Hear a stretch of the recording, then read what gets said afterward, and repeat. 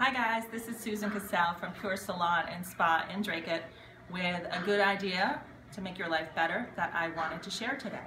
This is called the five second rule. And it doesn't have anything to do with food on the floor. That's a different five second rule.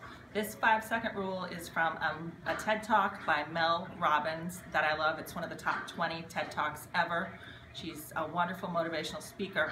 And what she recommends, if you have something you want to do and you're not doing it, been procrastinating, you know the next step, and you can't do it, the reason why is your brain will kill an idea after five seconds if you don't move forward with that idea.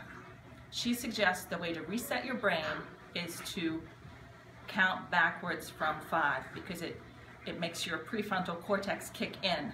So you have something you need to do, you go five, four, three, two, one, then you take one small action to it.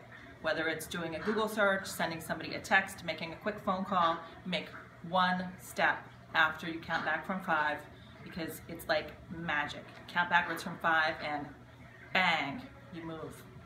So that's today's tip to make your life better. The five second rule, I recommend you, you check out the TED Talk. I'll link it below.